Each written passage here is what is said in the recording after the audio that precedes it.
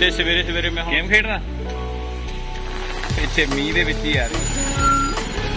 ਪਟਨਾ ਦੇ ਤੋਂ ਮੇਰੇ ਮਿਲੋ ਤੁਸੀਂ। So much to see if you just wake up. ਜਦੋਂ ਪਾਣੀ ਬਹੁਤ ਜ਼ਿਆਦਾ ਉਧਰ ਸਿੱਟੇ ਤੇ ਬੋਤਲ ਹੀ ਬਾਰੇ ਸਿੱਟੀ ਜਾ ਰਹੀ। ਇਹ ਗਿਆ ਤੇ ਉਧਰ ਲੱਗ ਗਈ। ਜੀ ਸਾਹਿਬ ਹੁਣ ਜੀਰੇ ਉੱਤੇ ਵੜੋਗੇ ਕੱਦੂ ਚ? ਤੇ ਆਪਾਂ ਗੱਲ ਕਰ ਤੇ ਹੁਣ ਥੋੜੀ ਜਿਹੀ ਵਿੱਚ ਦੀ ਚਲੋ ਉੱਥੇ ਤੱਕ ਜਿੰਨਾ ਚਿਰ ਤੁਰ ਕੇ ਜਾਂਦੇ ਆਪਾਂ ਕੱਲ ਦੀ ਘਟਨਾ ਬਾਰੇ ਗੱਲ ਕਰਦੇ ਹਾਂ ਜੋ ਕਿ ਐਨਕਾਊਂਟਰ ਹੋਇਆ। ਦੋ ਗੈਂਗਸਟਰਾਂ ਦਾ। ਫੜ ਕੇ ਤਾਂ ਆਏ ਆ ਵੀਰੇ ਜੇ ਹੁਣ ਆਪਾਂ ਨਾਗਾਲੈਂਡ ਦੇ ਵਿੱਚ ਹੁੰਦੇ ਨਾ ਉੱਥੇ ਤਾਂ ਆਪਾਂ ਡੱਡੂ ਵੀ ਖਾ ਲੈਂਦੇ। ਸਤਿ ਅਕਾਲ ਵੀ ਸਾਰਿਆਂ ਨੂੰ। ਸਵਾਗਤ ਹੈ ਜੀ ਤੁਹਾਡਾ ਸੋਹੀ ਬਲੌਗਸ ਤੇ। ਤੇ ਰਾਤ ਦੇ 11 ਵੱਜ ਚੁੱਕੇ ਨੇ। ਸਿਆ ਮੇਰਾ ਮਕਸਦ ਸੀ ਰਾਤ ਦੇ 11 ਵਜੇ ਠੀਕ ਹੈ ਵੀਡੀਓ ਬਣਾਉਣ ਦੇ ਇਹ ਵੀ ਤੁਹਾਨੂੰ ਹਰ ਇੱਕ ਅਪਡੇਟ ਨਾਲ ਤੁਹਾਨੂੰ ਜੋੜ ਕੇ ਰੱਖੀਏ। ਸੋ ਅੱਜ ਆਉਣੀ ਸੀ 11 ਵਾਲੀ ਸ਼ਿਫਟ ਲੈਟ ਰਾਤ ਨੂੰ ਠੀਕ ਹੈ। ਤੇ ਆਪਾਂ ਨੇ ਤੁਹਾਨੂੰ ਪਤਾ ਹੀ ਹੈ ਵੀ ਸਵੇਰੇ ਕੱਦੂ ਕਰਨਾ ਜਿਹੜੀ ਤੁਹਾਨੂੰ ਜ਼ਮੀਨ ਦੱਸਿਆ ਸੀ ਆਪਾਂ ਬਾਈ ਸੀ। ਤੇ ਹੁਣ ਮਿਲਦੇ ਆਪਾਂ ਸਵੇਰੇ ਬਈ ਵੀਡੀਓ ਨਾਲ ਬਣੇ ਰਹੋ। ਮਾਰਨਿੰਗ ਵੀ ਸਾਰਿਆਂ ਨੂੰ। ਸੋ ਰਾਤ ਤੁਸੀਂ ਦੇਖ ਲਿਆ ਆਪਾਂ ਮੋਟਰ ਛੱਡਤੀ ਤੇ ਹੁਣ ਆਪਾਂ ਲੇਬਰ ਲੈ ਕੇ ਜਾਣੀ ਹੈ ਤੇ ਬਾਰਿਸ਼ ਬਹੁਤ ਜ਼ਿਆਦਾ ਹੋ ਰਹੀ ਹੈ। ਤੇ ਸਵੇਰੇ ਸਵੇਰੇ ਮੈਂ ਹੁਣ ਸਰ ਨੂੰ ਸਕੂਲ ਦੀ ਬੱਸ ਚੜਾਉਣ ਆਇਆ ਸੀ ਤੇ ਅੱਜ ਜਾਣਾ ਸਕੂਲ ਤੇ ਕਹਿੰਦਾ ਮੈਂ ਜਾਣਾ ਨਹੀਂ ਹੈਗਾ ਕਿਉਂਕਿ ਪੈ ਰਿਹਾ ਮੀਂਹ। ਤੇ ਉਹ ਬੈਠਾ ਦੇਖ ਲੈ ਚੱਕ ਲੈ ਮੋਬਾਈਲ ਸਵੇਰੀ ਸਵੇਰੇ। ਹੈ? ਠੀਕ ਆ ਆਈ ਆ। ਤਾਂ ਹੀ ਬੈਠਾ ਰਹਿੰਦਾ। ਓਏ ਆਏ ਬੈਠਾ। ਹੈ? ਚਲੋ, ਬੱਸ ਚੜਾ ਕੇ ਫਿਰ ਆਪਾਂ ਲੇਬਰ ਲੈ ਕੇ ਜਦੋਂ ਜਾਵਾਂਗੇ ਨਾ ਉਹ ਮਿਲਦੇ ਆ ਤੇ ਦੇਖ ਸਕਦੇ ਹੋ ਦੇਖੋ, ਮੀਂਹ ਬਹੁਤ ਜ਼ਿਆਦਾ ਪੈ ਰਿਹਾ, ਸਵੇਰ ਦਾ 2 ਵਜੇ ਦਾ ਮੀਂਹ ਪੈ ਰਿਹਾ। ਠੀਕ ਹੈ। ਇਹਦਾ ਕੰਮ ਆ ਦੇਖ ਲਾ, ਪੇਪਰ ਹੈਗੇ ਨੇ ਇਹਦੇ 25 ਤਰੀਕ ਤੋਂ, ਤੇ ਉਹ ਚੱਕ ਲੈ ਮੋਬਾਈਲ। ਬਸ, ਗੇਮ। ਹਰਸ਼ਰਨ, ਗੇਮ ਖੇਡਣਾ ਮਿੱਤਰੋ ਬਾਰਿਸ਼ ਬਹੁਤ ਜ਼ਿਆਦਾ ਹੋ ਰਹੀ ਹੈ। ਤੇ ਆ ਛੋਟੂ, ਇੱਕ ਸਾਥੀ ਚ ਲੁਕਿਆ ਖੜਾ ਸਾਡਾ। ਇਹਨੂੰ ਬੱਸ ਚੜਾਉਣ ਆਇਆ ਆਪਾਂ। ਇਹਨੂੰ ਚੜਾ ਕੇ ਜਾਵਾਂਗੇ।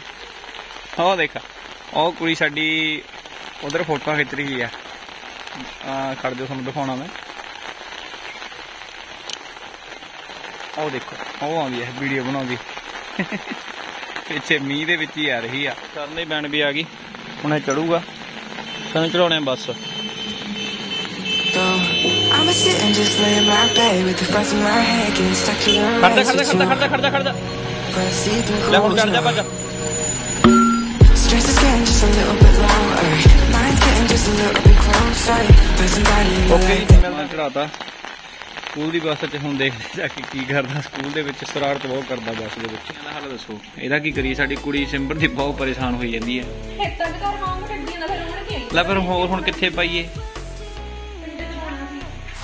ਪਿੰਡ 'ਚ ਪਾਉਣਾ ਲਿਆ ਚਾ ਲਿਆ ਬਾਰਿਸ਼ ਬਹੁਤ ਜ਼ਿਆਦਾ ਹੋ ਰਹੀ ਸੀ ਤੇ ਆਪਾਂ ਲੇਬਰ ਨੂੰ ਜੋ ਕੀ ਹੈ ਬਿਹਾਰ ਪਟਨਾ ਤੇ ਤੋਂ ਮਿ- ਮਿਲੋ ਤੁਸੀਂ ਇਹਨਾਂ ਨੇ ਆਪਣੀ ਜੀਰੀ ਲਗਾਣੀ ਹੈ ਉਹ ਦੇਖਿਆ ਜੀ ਸੁੱਤੇ ਪਏ ਨੇ ਬਾਰਿਸ਼ ਦਾ ਅੱਜ ਆਨੰਦ ਲੈ ਰਹੇ ਨੇ ਪੂਰਾ कैसे हो ਠੀਕ ਹੈ ਭਾਈ बढ़िया ना आज बढ़िया ठंड है। हो गई ਬਹੁਤ ਵਧੀਆ गर्मी से राहत मिली कुछ ये भी यहाँ ए, यहाँ पर बैठे हैं देखो ਤੇ ਮੈਂ ਚਾਹ ਲੈ ਕੇ ਆ ਰਿਹਾ ਸੀ ਤੇ ਲੰਬੜਦਾਰ ਮੇਰੇ ਘਰੇ ਚਲਾ ਗਿਆ ਚਾਹ ਲੈਣ ਵਾਸਤੇ ਰਾਸਤੇ 'ਚ ਮਿਲਿਆ ਹੋਊ, ਪਤਾ ਨਹੀਂ ਮੈਂ ਹੀ ਦੇਖਿਆ ਜਾਂ ਉਹਨੇ ਮੈਨੂੰ ਨਹੀਂ ਦੇਖਿਆ।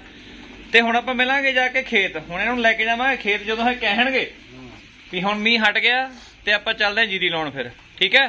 ਸੋ ਮਿਲਾਂਗੇ ਖੇਤ ਜਾ ਕੇ।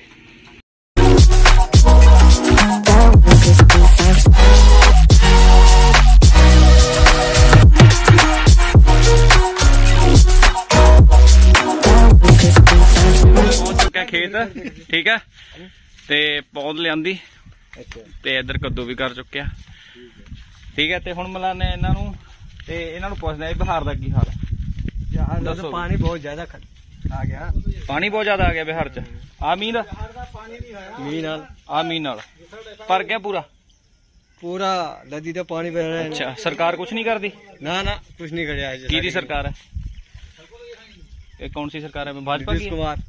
ਕੋ ਬਾਤ ਅੱਛਾ। ਉਹ ਯਾਰ ਸਮਝ ਸਕਦਾ ਠੀਕ ਹੈ? ਤੇ ਬਿਹਾਰ ਚ ਹੁਣ ਪਾਣੀ ਪਾਣੀ ਹਾਲਾਤ ਬਹੁਤ ਮਾੜੇ ਨੇ। ਤਾਂ ਹੀ ਵਿਚਾਰੇ ਪ੍ਰਦੇਸ਼ੀ ਇੱਧਰ ਆਉਂਦੇ ਨੇ ਕੰਮ ਕਰਨ। ਠੀਕ ਹੈ? ਜਦੋਂ ਵੀ ਉਧਰ ਬਾਰਿਸ਼ ਆਉਂਦੀ ਹੈ ਜਾਂ ਕੋਈ ਬਾੜ ਆਉਂਦੀ ਹੈ ਤਾਂ ਸਭ ਤੋਂ ਪਹਿਲਾਂ ਬਿਹਾਰ ਦੇ ਵਿੱਚ ਆਉਂਦੀ ਹੈ। ਤੇ ਇਸ ਕਰਕੇ ਇਹ ਲੇਬਰ ਇੱਧਰ ਕਰਨ ਆਉਂਦੇ ਆ। ਤੇ ਯਾਰ ਇਹਨਾਂ ਦੇ ਵੀ ਮਿਹਨਤ ਆ ਠੀਕ ਹੈ? ਦੇਖੋ ਕਿੱਡੀ ਦੂਰੋਂ ਇੱਧਰ ਮਿਹਨਤ ਕਰਨ ਆਉਂਦੇ ਆ ਸਾਰੇ ਇਹ। ਠੀਕ ਹੈ? ਸੋ ਇੱਥੇ ਵੀ ਆਪਾਂ ਆਪਾਂ ਨੂੰ ਵੀ ਮਿਹਨਤ ਕਰਨੀ ਚਾਹੀਦੀ ਹੈ, ਠੀਕ ਹੈ? ਇਹਨਾਂ ਦੀ ਕਦਰ ਕਰਨੀ ਚਾਹੀਦੀ ਹੈ। ਜਿੰਨੀ ਵੀ ਇਹ ਮਿਹਨਤ ਕਰਦੇ ਨੇ, ਇਹਨਾਂ ਦਾ ਮਿਹਨਤ ਨਾ ਦੇਣਾ ਚਾਹੀਦਾ। ਇਹਨਾਂ ਦੇ ਕਿਸੇ ਵੀ ਯਾਰ ਕੋਈ ਵੀ ਕਹਿੰਦੇ ਬਿੱਗਾ ਮਾਰ ਕੇ ਆਪਾਂ ਕਿੱਧਰ ਜਾਵਾਂਗੇ, ਠੀਕ ਹੈ? ਇਹਨਾਂ ਦਾ, ਗਰੀਬਾਂ ਦਾ।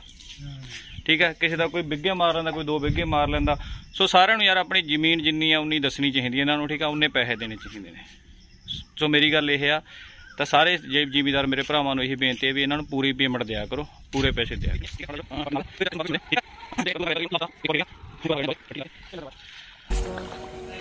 ਇਹ ਬੋਤਲ ਸਿੱਟੇ ਤਾਂ ਬੋਤਲ ਹੀ ਬਾਰੇ ਸਿੱਟੀ ਜਾ ਰਹੀ। ਇਹ ਬਾਗੀ ਉਹ ਬਾਗੀ। ਬੋਤਲ ਸੀ ਘੰਟਾ ਹੋ ਗਿਆ ਇਹਨੂੰ ਪੂਰਾ ਦਸ ਤਿੰਨ ਚਾਰ ਵਾਰ ਸਿੱਟ ਲਈ, ਫੇਰ ਕੱਦੂ ਸਿੱਟ ਲੈਂਦਾ ਉਹਦੇ ਲਵੀ। ਫੌਜੀ ਸਾਹਿਬ ਪਹੁੰਚੇ ਨੇ ਚਾਹ ਲੈ ਕੇ ਤੇ ਹੁਣ ਆਪਾਂ ਪੀ ਰਹੇ ਹਾਂ ਚਾਹ। ਤੇ ਸਾਰੀ ਚਾਹ ਪੀਣ ਲੱਗੇ ਇਹ ਵੀ ਕਹਿੰਦੇ ਅਸੀਂ ਚਾਹ ਪੀਣੀ ਹੈ। ਤੇ ਇੱਧਰ ਰੋਟੀ ਚਾਹ ਚੱਲ ਰਹੀ ਹੈ ਤੇ ਉਧਰ ਲੱਗ ਰਹੀ ਹੈ ਜੀਰੀ ਤੁਸੀਂ ਦੇਖ ਸਕਦੇ ਹੋ। ਲੱਗ ਰਹੀ ਹੈ ਨਾ? ਪਰਾਠਾ ਫੌਜੀ ਖਾਂਦਾ ਨੇਗਾ। ਤੇ ਫੌਜੀ ਸਾਹਿਬ ਬਹਿ ਗਏ ਬਸ ਹੁਣ ਸਰ ਕੁਰਸੀ ਤੇ। ਚਾਰਿਆ ਹੋਰ ਵੀ ਕਿਵੇਂ ਹੋ? ਠੀਕ ਹੋ? ਠੀਕ ਭਾਈ ਠੀਕ ਹੈ। ਵਧੀਆ। ਚਾਹ ਕਿਵੇਂ ਆ? ਚਾਹ ਬਹੁਤ ਵਧੀਆ ਹੈ ਬਿਲਕੁਲ। ਓਕੇ ਰੋਟੀ ਰਾਟੀ? ਰੋਟੀ ਰਾਟੀ ਵੀ ਓਕੇ ਆ ਜੀ। ਓਕੇ ਆ ਠੀਕ ਆ। ਨਾ। ਬਾਹਰ ਜੀਰੀ ਐਨ ਜੱਜ ਕੇ ਲਾਇਓ। ਚੰਗਾ ਚੰਗਾ। ਜੀਰੀ ਜਮੇ ਸੰਗਣੀ ਲਾ ਦੇ ਸੰਗਣੀ ਨਾ ਲਾਇਓ ਇਹ। ਸੰਗਣੀ ਲਾਉਣੀ ਹੈਗੀ। ਸਿੱਧਾ ਲਾ ਦਿੰਦੇ ਨਹੀਂ ਸਿੱਧਾ ਵੀ ਨਹੀਂ ਲਾਉਣਾ। ਬਸ ਜਿੰਨੇ ਫਾਸਲੇ ਤੇ ਲਾਉਣੀ ਉਹਨੇ ਫਾਸਲੇ ਦੀ ਲਾਉਣੀ ਆ। ਠੀਕ ਤੂੰ ਥੋੜਾ ਜੰਮਿਆ ਪਿਆ ਹੁਣ ਕਹਿੰਦਾ ਸੰਗਣੀ ਚਲੋ ਠੀਕ ਆ ਮਿਲਦੇ ਆ ਫੇਰ ਤੁਹਾਨੂੰ ਦਿਖਾਉਣੇ ਜੀ। ਸਾਹਿਬ ਹੁਣ ਜੀਰੇ ਉਹ ਚ ਵੜੋਗੇ ਕੱਦੂ ਚ? ਆਪਣੇ ਉਹ ਕੱਖ ਜੇ ਦੱਬਣੇ ਜਿਹੜੇ ਵਿੱਚ ਨੇ ਜਿਹੜੀ ਪੁਰਾਣੀ ਆਪਣੀ ਜੀਰੀ ਉਹ ਆ ਉਗੀ ਹੋਈ ਆ ਨਾ ਉਹ ਆਪਾਂ ਦੱਬਣੀ ਆ। ਨਾ ਹੁਣ ਮੈਨੂੰ ਕੱਦੂ ਕਰਨ ਲਾਉਂਗੇ ਯਾਰ। ਕੱਦੂ ਨਹੀਂ ਕਰ ਲਾਉਂਦੇ ਹੈਗੇ ਆਪਣੇ ਪੈਰਾਂ ਨਾਲ ਦੱਬਣੇ ਨੇ ਉਹ ਜਿਹੜੀ ਪੁਰਾਣੀ ਜੀਰੀ ਉੱਗੀ ਹੋਈ ਆ ਦੱਬਣੀ ਆ। ਨਾਲੇ ਭਈਆ ਦੇਖਣੇ ਜੀਰੀ ਸਿੱਧੇ ਲਾਉਂਦੇ। ਸਿੱਧੀ ਤਾਂ ਨਾਲੇ ਭਈਆ ਦੇਖਣੇ ਜੀਰੀ ਸਿੱਧੀ ਤਾਂ ਲਾਉਂਦੇ ਦੇਖ ਦੱਸੋ ਹੁਣੇ ਨਾਲ। ਸਿੱਧੀ ਨਹੀਂ ਲਾਉਂਦੇ ਨਹੀਂ ਤੁਸੀਂ ਹੁਣ ਦੱਸੋ ਕੱਦੂ ਨਹੀਂ ਕੱਦੂ ਚ ਤਾਂ ਵੜੋਗੇ ਨਾ। ਕੱਦੂ ਚ ਵੜੋ। ਕੱਦੂ ਜਿੱਦਾਂ ਵੜਨਾ ਹੀ ਪਊ। ਫਿਰ ਤਾਂ ਆਏ ਕਿ ਸਰਦਾਰ ਮੈਂ ਕੱਦੂ ਨੂੰ ਦੇਖ ਕੇ ਡਰਦਾ। ਵਾ ਹਾਂ।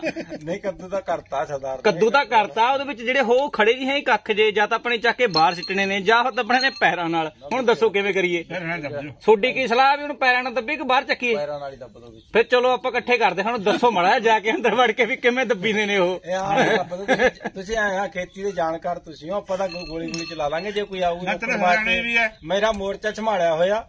ਜੇ ਕੋਈ ਤੁਹਾਨੂੰ ਰੋਕਣ ਵਾਸਤੇ ਆਉਂਦਾ ਕੋਈ- ਕੋਈ ਵੀ ਸੜਕ ਵਾਲਾ ਆਉਂਦਾ ਤੇ ਪਹਿਲੀ ਡਾਂਗ ਮੈਂ ਮਾਰੂੰਗਾ ਹੋਰ ਦੱਸੋ। ਡਾਂਗੀ ਮਾਰੋਗੇ ਮੇਰੇ ਤਾਂ ਗੋਲੀ ਗੋਲੀ ਕੱਢੋਗੇ ਮੈਨੂੰ ਤਾਂ ਐਂਦੀ ਵਿੱਚ ਦੀ ਤੁਸੀਂ ਤਾਂ ਹੁਣ ਤਾਂ ਗੋਲੀ ਦਾ ਨਾਂ ਲਿਆ ਤੀ ਨਾ ਗੋਲੀ ਵੀ ਮਾਰ ਦਾਂਗੇ ਜੇ ਗੋਲੀ ਆਈ ਗੋਲੀ ਹੈ ਹੀ ਨਹੀਂ ਸਾਡੇ ਕੋਲ ਬੰਦੂਕ ਹੈ ਨਹੀਂ ਨਹੀਂ ਤਾਂ ਲੋਕ ਤਾਂ ਨੇ ਕਹਿੰਦੇ ਨੇ ਕਹਿੰਦੇ ਰੈਫਲਾਂ ਨਹੀਂ ਬੈਠਾ ਫੌਜੀ ਉੱਤੇ ਚਲ ਆਪਾਂ ਡਾਂਗ ਨਾਲ ਹੀ ਕੰਮ ਝਾੜ ਦਾਂਗੇ ਕੋਈ ਚੱਕਰ ਨਹੀਂ। ਚਲੋ ਵੀ ਹੁਣ ਦੇਖਦੇ ਆ ਵੀ ਫੌਜੀ ਸਾਹਿਬ ਕੱਦੂ 'ਚ ਵੜਦੇ ਨੇ ਕਿ ਨਹੀਂ ਵੜਦੇ? ਇਹ ਤੁਹਾਨੂੰ ਅਗਲੇ ਦਿਨ ਦੱਸ ਦੇ ਦੋ ਕੁ ਮਿੰਟਾਂ ਤੱਕ ਚਾਹ ਪੀ ਕੇ ਦੱਸ ਦਿਓ।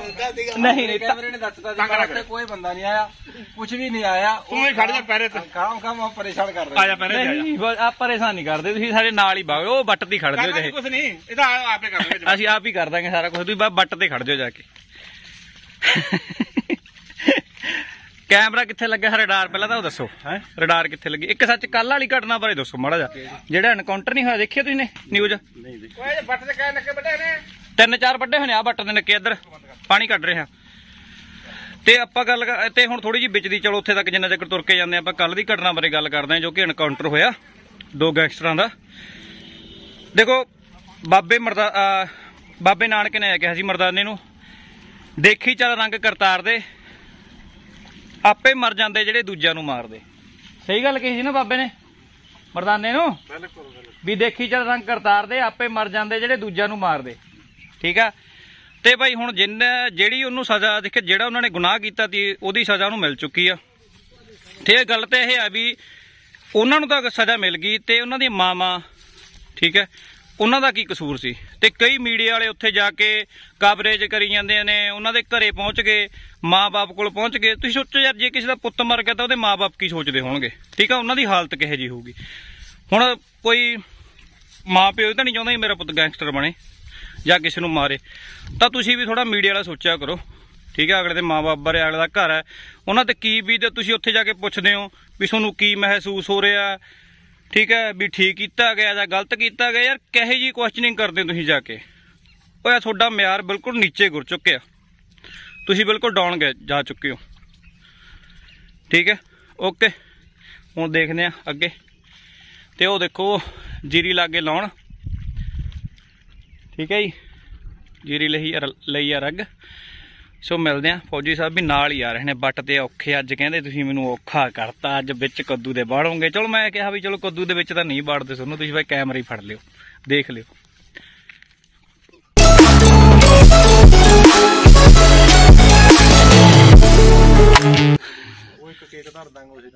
ਚੂਹੇ ਮਾਰਨੀ ਦਵਾਈ? ਕਿੰਨੇ ਕਿੰਨੇ ਤਾਲੇ ਨਾ ਲਈਏ। ਫੜ ਕੇ ਤਾਲੇ ਨਾ ਲਈਏ। ਫਿਰ ਤਾਂ ਨਜ਼ਾਰੇ ਆ ਜੀ ਫਿਰ ਤਾਂ ਸਾਲਾਂ ਦੇ ਵਿੱਚ ਮੌਜ ਨਾਲ ਉਹ ਕਰ ਲਾਂਗੇ ਚੀਰ ਕੇ ਨਾ ਜਿਵੇਂ ਕਰੇਲੇ ਬਣਾਈਦੇ ਨੇ ਹਾਂ ਉਹਦੇ ਵਿੱਚੋਂ ਮਟੀਰੀਅਲ ਕੱਢ ਕੇ ਤੇ ਉਹਨਾਂ ਨੂੰ ਪਾੜ ਕੇ ਮਟੀਰੀਅਲ ਕੱਢ ਕੇ ਵਿੱਚ ਮਸਾਲਾ ਭਰ ਕੇ ਫਿਰ ਵਧੀਆ ਬਣੂ। ਨਹੀਂ ਕਈ ਮੈਂ ਉਹਦੇ ਚੈਨਲ ਵਾਲੇ ਸੁਣੇ ਨੇ ਉਹ ਥੋੜੇ ਸਾਫ਼ ਤੇ ਮਤਲਬ ਕਿ ਮਾਰਦੇ ਨੇ ਉਹ ਥੋੜੇ ਐਂ ਤਲ ਦਿੰਦੇ ਨੇ। ਨਹੀਂ ਉਹ ਫਿਰ ਖਰਾਬ ਹੁੰਦਾ ਵਿੱਚੋਂ। ਜਿਹੜਾ ਮਟੀਰੀਅਲ ਉਹ ਕੇਕੜੇ ਕੀੜੇ ਮਕੋ ਕੀੜੇ ਹਾਂ ਕੀੜੇ ਮਕੌੜੇ ਜੇ ਬਹੁਤ ਕੀੜੇ ਕੀੜੇ ਮਕੌੜੇ ਜੇ ਬਹੁਤ ਮਾਰਦੇ ਨੇ ਖਾਂਦੇ ਨੇ ਉਹ ਘਰੇ ਭੇਜਦੇ ਫੜੀ ਕੇ ਕਹਿ। ਫੌਜੀ ਆ ਖਾਂਦਾ। ਠੀਕ ਆ ਆਏ ਆ ਵੀਰੇ ਜੇ ਹੁਣ ਆਪਾਂ ਨਾਗਾਲੈਂਡ ਦੇ ਵਿੱਚ ਹੁੰਦੇ ਨਾ ਉੱਥੇ ਤਾਂ ਆਪਾਂ ਡੱਡੂ ਵੀ ਖਾ ਲੈਂਦੇ ਠੀਕ ਹੈ ਨਹੀਂ ਤੇ ਬਾਕੀ ਆ ਜਿਹੜੇ ਗੰਡ ਗੰਡੋਏ ਜੇ ਫਿਰਦੇ ਨੇ ਇਹ ਤਾਂ ਗੱਲੇ ਕੁਛ ਨਹੀਂ ਇਹ ਤਾਂ ਸਾਡੇ ਪਕੌੜੀਆਂ ਵਰਗੇ ਲੱਗਦੇ ਨੇ। ਹਾਂ ਜੇ ਹੁਣ ਪੀਤੀ ਖਾਧੀ ਹੋਵੇ ਆ ਗੰਡ ਗੰਡੋਏ ਜੇ ਫੜ ਕੇ ਜਿੰਨੇ ਆ ਡੱਡੂ ਡੱਡੂ ਜੇ ਫੜ ਕੇ ਚੁੱਪ ਕਰਕੇ ਫਰਾਈ ਕਰਕੇ ਛੜਾਂ ਦੇ ਭੁੱਕ ਕੇ। ਐਨ ਖਾਓ ਜਿਵੇਂ ਛੜਾ ਨਮਕੀਨ ਹੁੰਦਾ ਬਸ ਨਮਕੀਨ ਵਰਗੇ ਲੱਗਦੇ ਨੇ ਇਹ। ਚੀਜ਼ ਬਹੁਤ ਵਧੀਆ ਸਰੀਰ ਵਾਸਤੇ ਵੀ ਵਧੀਆ ਇਹ। ਤੇ ਬਾਕੀ ਪੈਗ ਸ਼ੈਗ ਨਾਲ ਤਾਂ ਸਾਡੀ ਗੱਲ ਹੀ ਕੁਝ ਹੋਰ ਬਣ ਜਾਂਦੀ ਹੈ। ਲਓ ਵੀ ਜਿਹਦੀ ਤਾਂ ਲਹੀ ਅਲੱਗ ਆ ਆਪਣੀ। ਠੀਕ ਹੈ ਹਾਂ। ਬਸ ਥੋੜਾ ਹੀ ਟਾਈਮ ਲੱਗੂ ਲਾ ਦੇਣਗੇ। ਮੇਰੇ ਖਿਆਲ ਹਨੇਰਾ ਹੋ ਜਾਊਗਾ। ਓਕੇ ਬਾਈ ਆਪਾਂ ਵੀਡੀਓ ਦਾ ਐਂਡ ਕਿਉਂਕਿ ਇੱਥੇ ਜੀਰੀ ਲਾਉਂਦੇ ਲਾਉਂਦੇ ਹੋ ਜਾਣਾ ਹਨੇਰਾ ਫਿਰ ਤੁਹਾਨੂੰ ਪਤਾ ਰਾਤ ਨੂੰ ਵੀਡੀਓ ਨਹੀਂ ਬਣਦੀ ਚੰਗੀ ਤਰ੍ਹਾਂ। ਤੇ ਜੇਕਰ ਤੁਹਾਨੂੰ ਇਹ ਬਲੌਗ ਵਧੀਆ ਲੱਗੇ ਹੈ ਤਾਂ ਚੈਨਲ ਨੂੰ ਸਬਸਕ੍ਰਾਈਬ ਜਰੂਰ ਕਰਿਓ ਲਾਈਕ ਸ਼ੇਅਰ ਕਮੈਂਟ ਜਰੂਰ ਕਰਿਓ। ਤੇ ਕਮੈਂਟ ਜਰੂਰ ਕਰਿਆ ਕਰੋ ਯਾਰ ਵੀ ਦੱਸਿਆ ਕਰੋ ਇਹ ਵੀਡੀਓ ਤੁਹਾਨੂੰ ਕਿਵੇਂ ਲੱਗਦੀ ਆ। ਤੇ ਆਪਾਂ ਕੱਲ ਨੂੰ ਮਿਲਦੇ ਹਾਂ ਹੁਣ ਠੀਕ ਹੈ ਅਗਲੇ ਵਲੌਗ 'ਚ। ਵੀਡੀਓ ਦੇਖਣ ਲਈ ਤੁਹਾਡਾ ਬਹੁਤ ਬਹੁਤ ਧੰਨਵਾਦ ਸਾਰਿਆਂ ਦਾ।